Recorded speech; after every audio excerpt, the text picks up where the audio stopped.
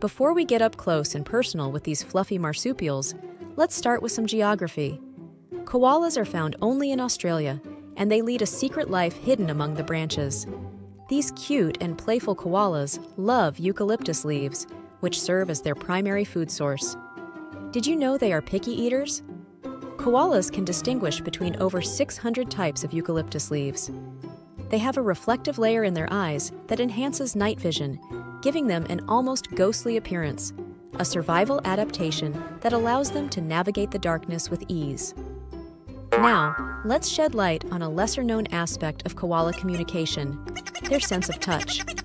Researchers have discovered that koalas have specialized touch receptors on their hands and feet, enabling them to sense vibrations in the trees and communicate with their fellow marsupials.